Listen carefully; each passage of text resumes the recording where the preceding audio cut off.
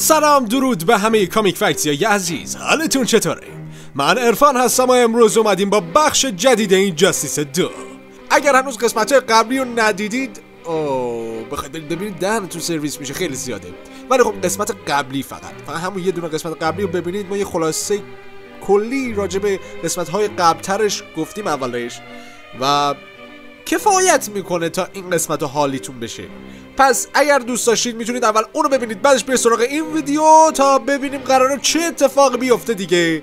فقط قبل از اینکه بخوایم بریم سراغ ویدیوی امروز بذاریم بر حسب عادت کانال جدیدمون مگامایند رو بهتون معرفی کنم دیگه.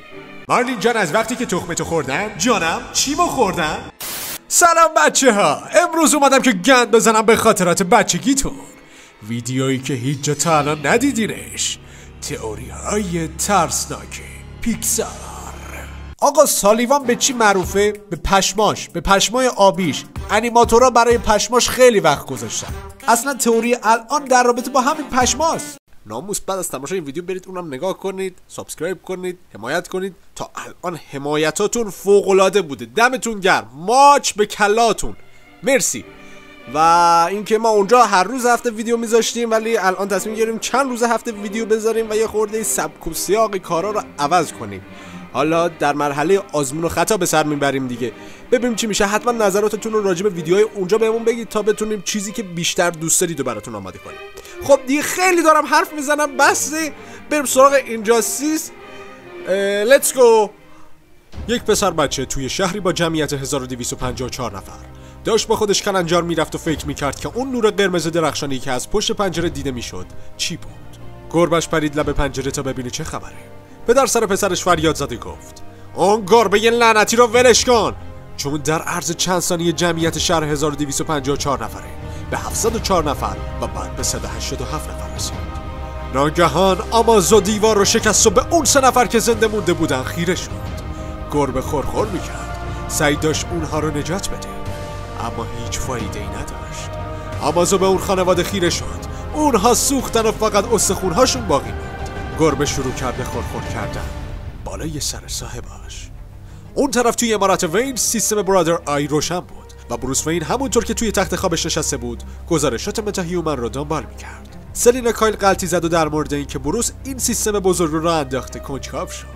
برادر آی توضیح داد که شاهد حجم زیادی از مرگ بوده.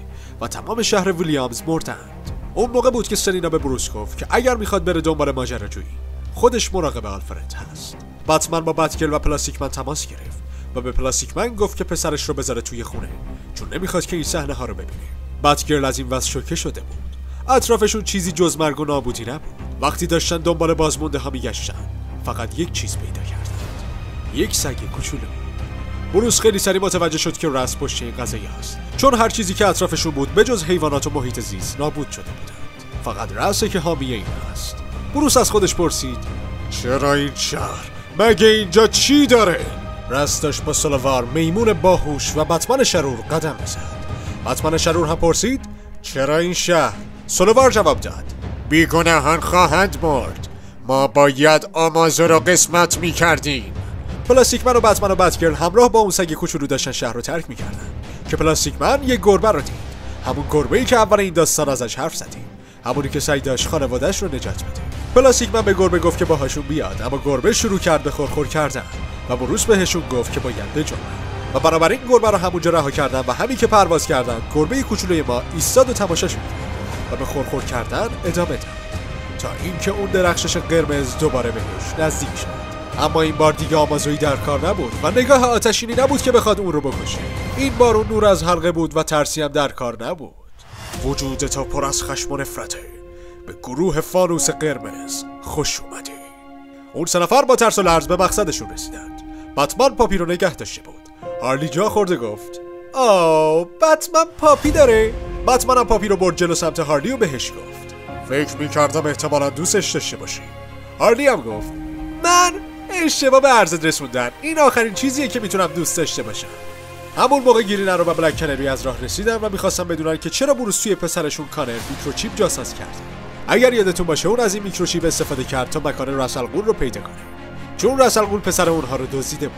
اما قبل از اینکه بحثشون بالا بگیره بروس توضیح داد که سه نفر همین حالا توی شهر مردن این اتفاق هر چیزی که بود یک جور آزمایش برای نقشه های رسل بود. و بعد ادامه داد که اوضاع از این هم بدتره. و علاوه بر این که رو از شروع کرد به دردسر درست کردن اونها باید دوباره نگران رژیم هم باشن. واندر وومن از تمیسکرا فرار کرد. ما به افراد قدرت های بیشتری احتیاج داریم. گرینه رو پرید وسط حرف بروس گفت آخه از کجا افراد قدرت های بیشتر بیاریم؟ از آسمون که یهو نمیافتن زمین. من جلوش رو گرفته گفت وقتی که برای رژیم سوپرمن کار می‌کردم یه چیزایی شنیدم. تایتانا زنده اونا توی قلعه تنهایی سوپرمن زندانی شدن سوپرمن اونا رو توی منطقه فانتوم بسته بروس گفت باید بریم اونها رو از اونجا بیاریم بیرون. هارلی هم گفت قربان شما دارید پاپی جدیدتون رو به خونه همیشگیش می‌برید. بروس هم به برایان نگاه کرد و پلاستیک من گفت من نمی‌خوام این puppy رو ببرم خونه می‌دونی که پسرم خودش به تنهایی چقدر غذا می‌خوره. بروس هم رفت خونه پیش آلفرد که اخیرا دوباره زنده شده بود و کم کم داشت حافظش میومد سر جاش. آلفرد از بروس پرسید mister گریسون مرده یا نه؟ آره. و بعد آلفرد رو با puppy تنها گذاشت تا سرگرم بشه و بعد رفت سراغ برادر آی و ازش گزارش ساعتی گرفت. کل اعضای تیم قصد که به قطب شمال برن.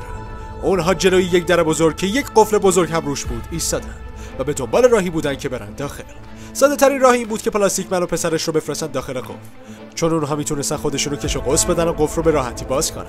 همون لحظه که اعضای تیم داشتن خودشون رو برای عبور کردن از در آماده می‌کردن انفجاری از نگاه آتشین از اون طرف در اومد بیرون. دو تا چشم قرمز شروع به حرکت کردن و نور قرمز شروع به ساطع شدن کرد.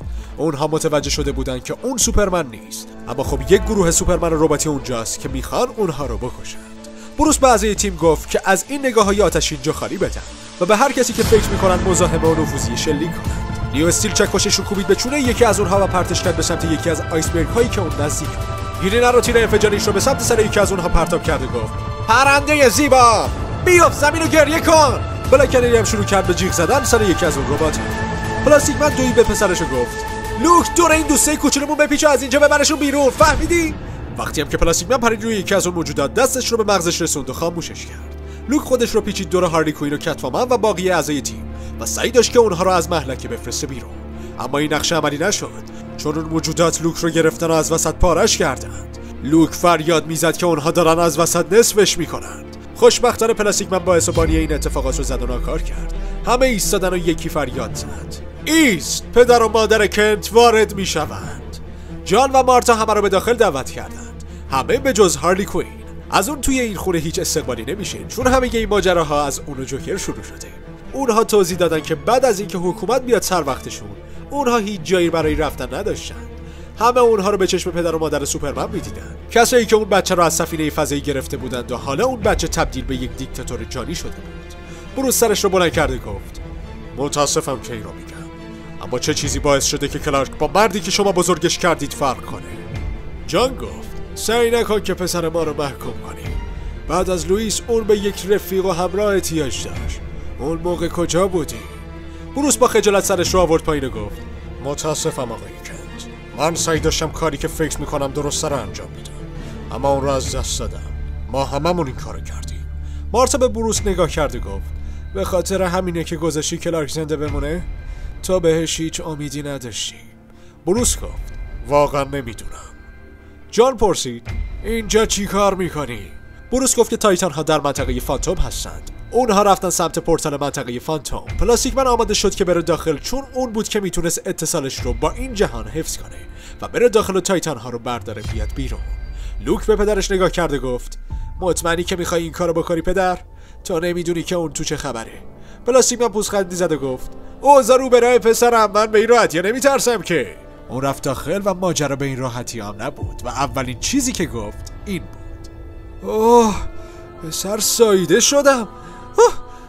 خب بچه ها این بود از پایان این بخش از کامیک اینجاستیس دو امیدوارم که از تماشای این ویدیو لذت کافی رو برده باشید. اگر از این ویدیو خوشتون اومد با like و subscribe اتون و معرفی ما به دوستاتون ازمون حمایت کنید. به مگامایند هم سر بزنید. دمتون هم گرم تا اینجا همراهمون بودید. تا یه ویدیو دیگه و comic دیگه هم خدافظ